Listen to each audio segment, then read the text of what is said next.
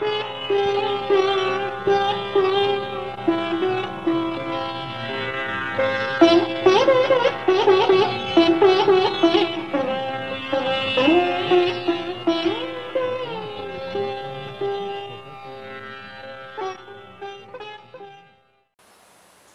आपण देशामध्ये दोन प्रकारच्या बातम्या सातत्याने वाचतो आहोत. एक म्हणजे मोठ्या प्रमाणामध्ये उद्योगांमध्ये कामगार कपात सुरू आहे. त्याच्यामध्ये मुख्यतः वाहन उद्योग आणि कंझ्युमर गुड्स ज्याला म्हणतो ते उद्योग याच्यामध्ये खूप आघाडीवरती आहेत.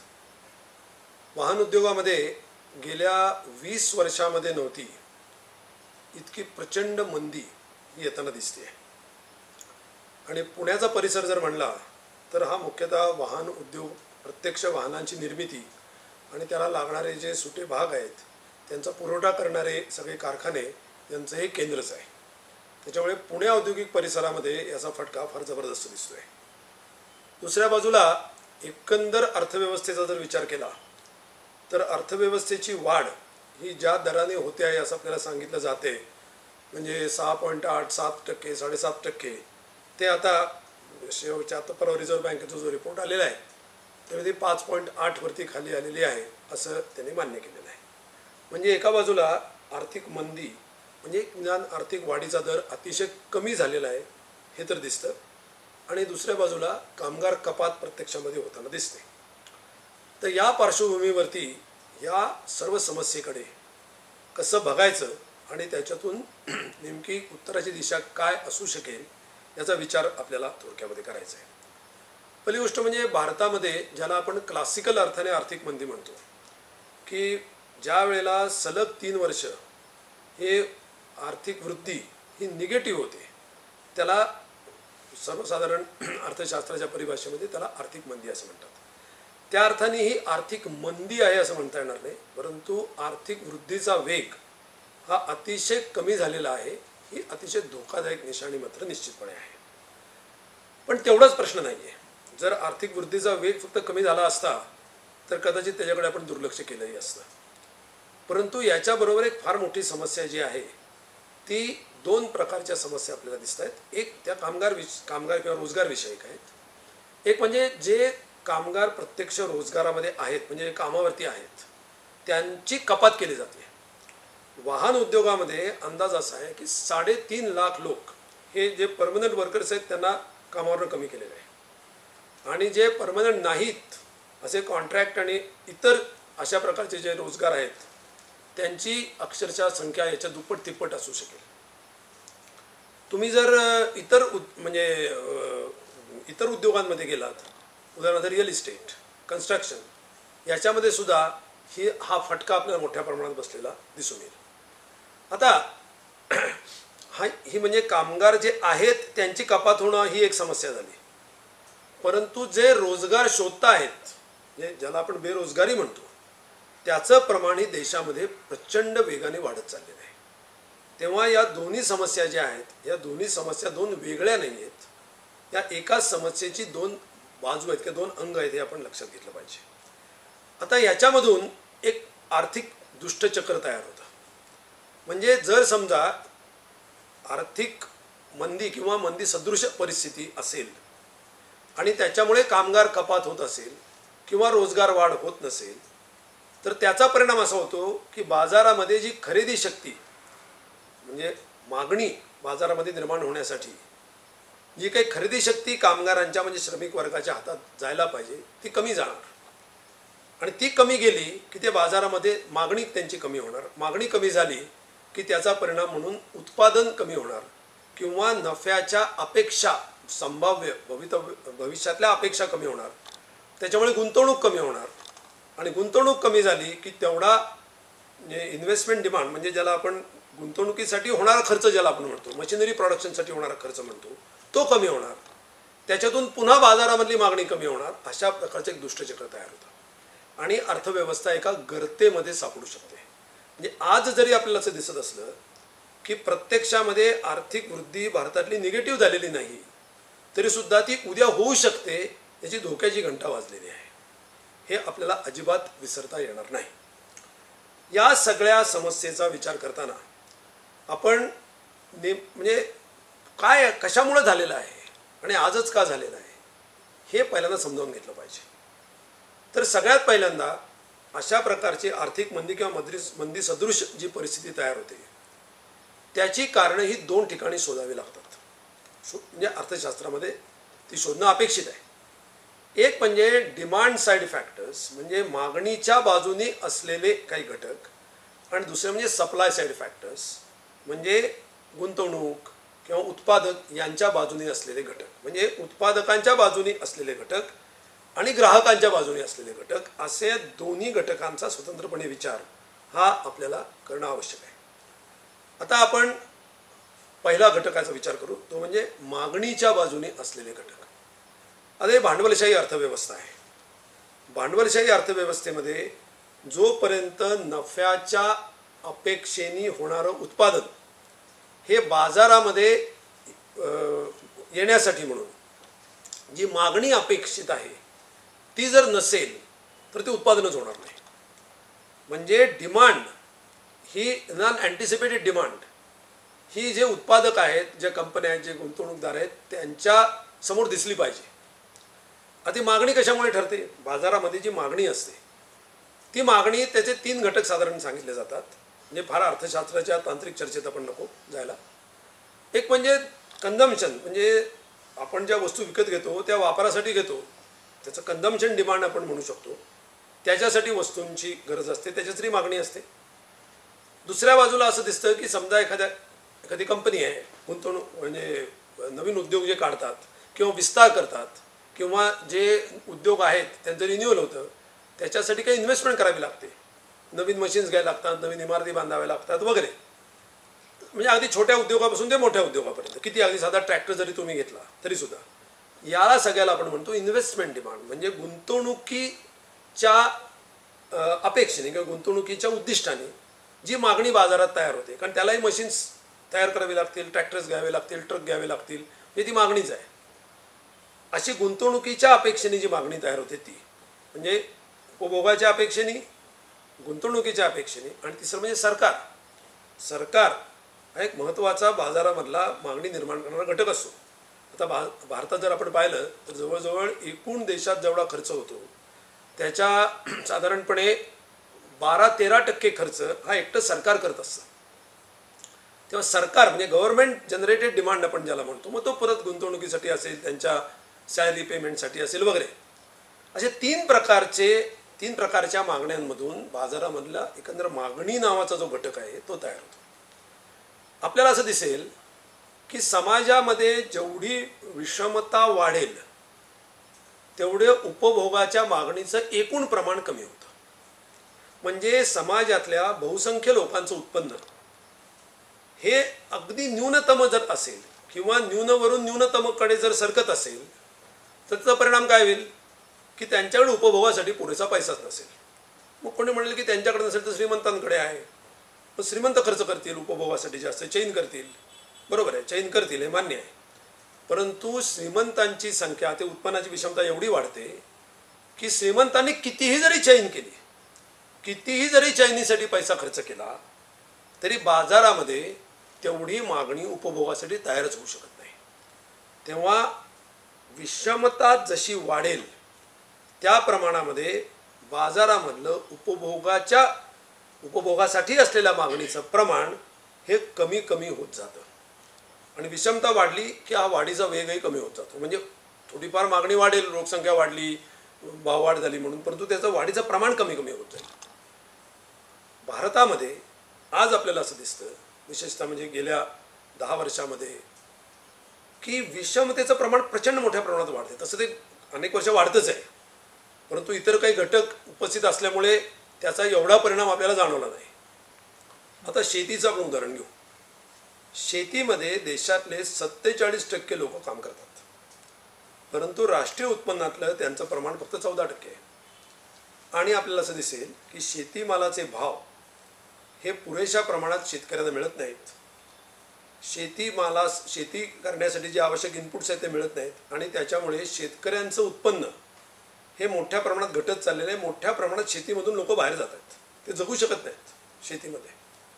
त्यामुळे त्यांचं उत्पन्न जर कमी होत चाललं असेल तर खर्च काय करणार ते? म्हणजे उपभोगासाठी त्यांच्या जगण्यासाठी त्यांनी जो खर्च करायला पाहिजे उपभोगासाठी तो करायला त्यांच्याकडे पैसेच नाही आहेत. सत्तेचाळीस टक्के लोक हे अधिकाधिक भणंग आणि दारिद्र्य रेषेच्या खाली वेगाने सरकले जात ढकलले जात आहेत.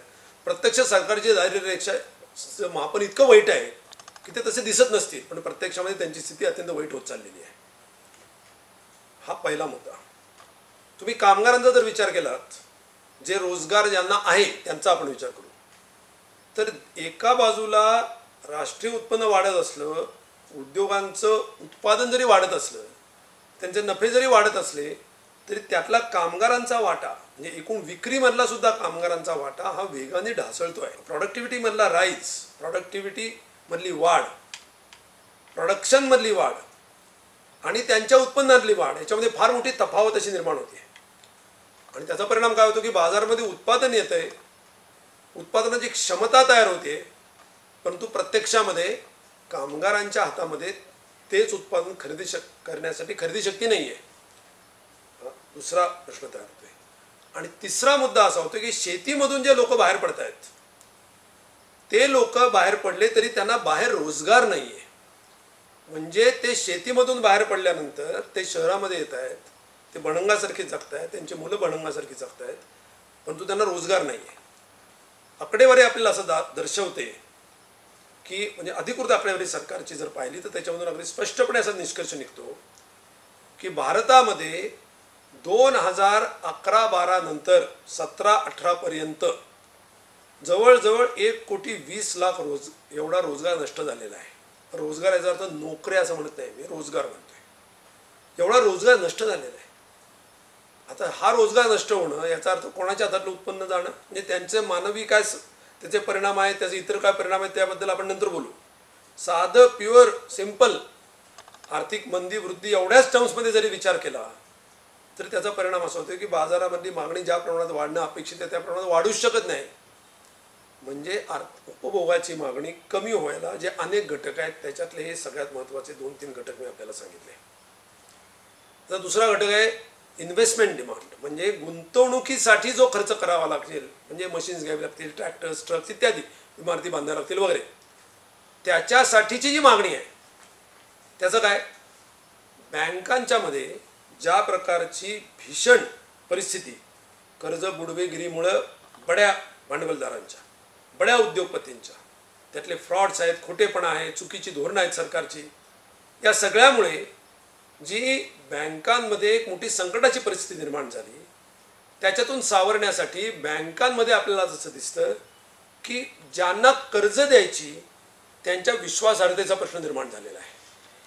म्हणजे कर्ज देताना कोणी धोकापत करायला तयार नाही. कारण एकतर पहिला अनुभव आणि दुसरं म्हणजे पुन्हा आर्थिक अशा प्रकारची स्थिती जर असेल तर पुन्हा कर्ज देणारे ज्या बँका आहेत त्या दहा वेळा विचार करणार.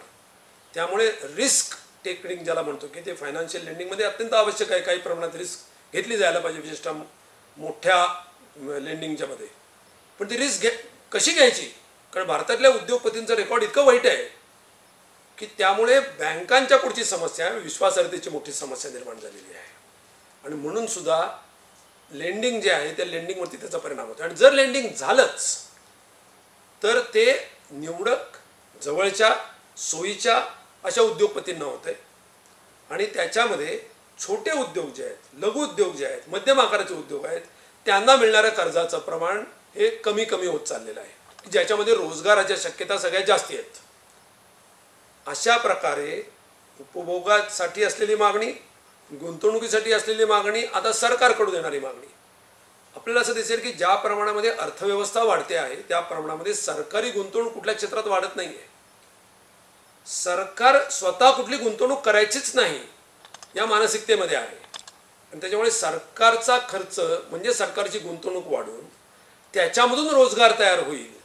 अशी शक्यता नाही. मी सरकारी रोजगाराबद्दल फक्त बोलत नाही म्हणजे सरकारचे नोकर वाढत नाही आहेत एवढाच फक्त मुद्दा नाही आहे ते तर नाहीच वाढत आहेत. परंतु त्याला उद्देशून मी हे बोलत नाही आहे मी बोलतोय की सरकारनी गुंतवणूक करून नवे उद्योग चालू करणं किंवा इन्फ्रास्ट्रक्चर डेव्हलपमेंट करणं याच्यामधून ज्या प्रकारचा रोजगार तयार व्हायला पाहिजे तो रोजगार होऊ शकत नाही. कारण सरकारचा त्याही बाबतीतला हात आखडताच आहे. म्हणजे मागणीच्या बाजूनी जर पाहिलं तर हे तिन्ही घटक अतिशय नकारात्मक स्थितीत असलेले आपल्याला दिसतात.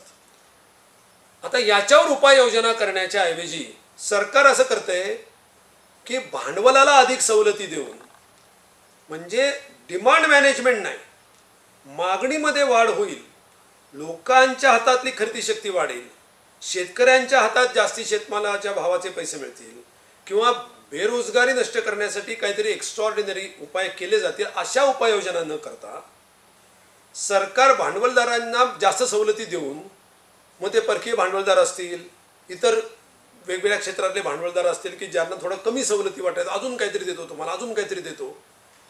असं करून त्यांनाच आकर्षित करायचं. त्यांना नफ्याची जास्त गाजरं किंवा जास्त वचनं दाखवण्याचा प्रयत्न करायचा. हे सरकारचे उपाय आहेत. आणि याच्यामधून मागणी वाढणार नाही आहे आणि जोपर्यंत आणि कोणी म्हणेल मग त्याच्यामुळे गुंतवणूक ते गुंतवणूक शेवटी कशामुळे होते? गुंतवणूक केवळ गुंतवणुकीमधल्या सवलती दिल्या म्हणून होत नाही.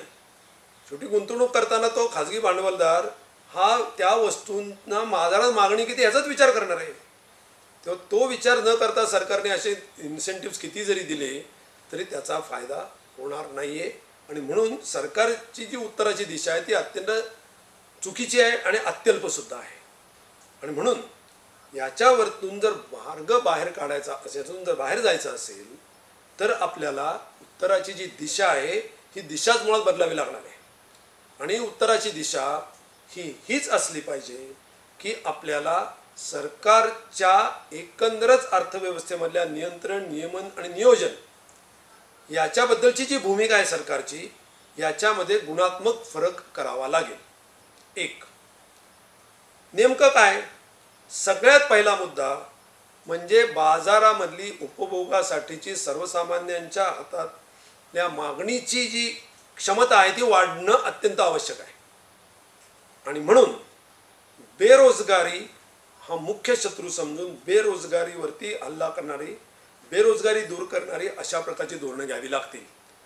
शहरी रोजगार हमी योजना सुरू करावी लागेल. प्रत्येक ठिकाणी फक्त म्हणजे सरकारने काहीतरी कारखाना सुरू करायचा तर रोजगार मिळेल असं मला म्हणायचं नाही आहे परंतु सरकारी सेवा ज्या आहेत त्याच्यासाठी तर का हमी निर्माण केली. की जसं युनिव्हर्सल बेसिक इन्कम सरकारने काही भाषा सुरू केलेली आहे मी त्याच्याबरोबरीने असं म्हणेन की सरकारने एक सार्वत्रिक सेवेची हमी देणारी योजना सुरू केली पाहिजे. मग त्या ग्रामीण असतील किंवा शहरी असतील तिथे प्रचंड मोठ्या प्रमाणात रोजगाराच्या शक्यता आहेत. रोजगार निर्माण होईल.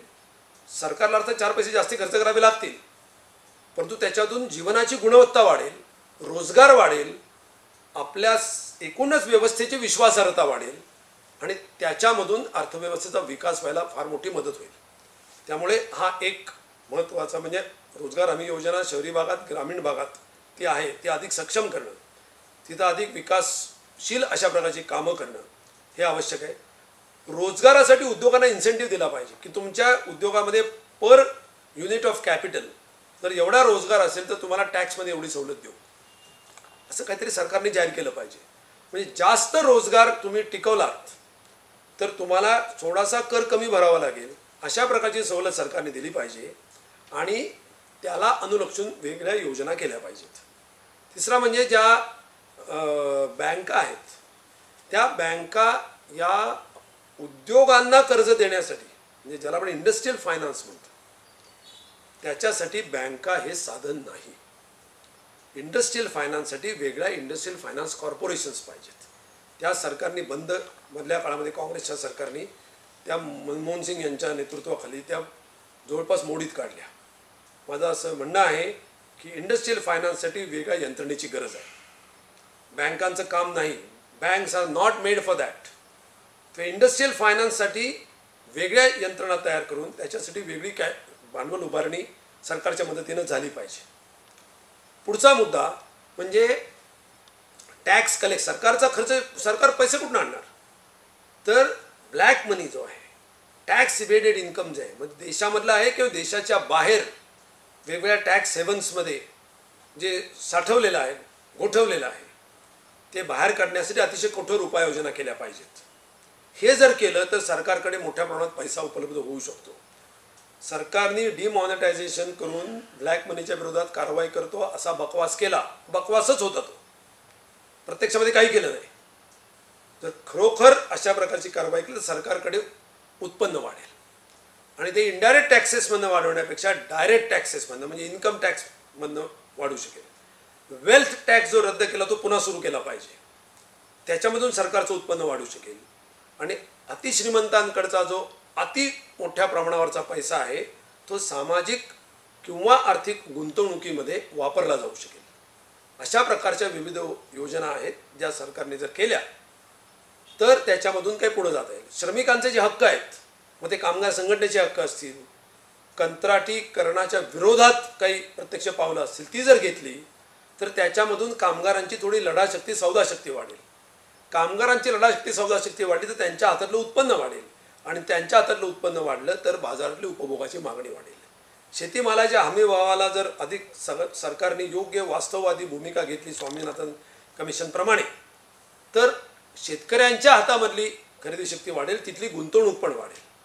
अशा प्रकारची पावलं जर सरकारने घेतली तर याच्यातून काही उत्तराची दिशा सापडू शकेल. तीच एकमेव योग्य अशी दिशा आहे असं मला वाटतं.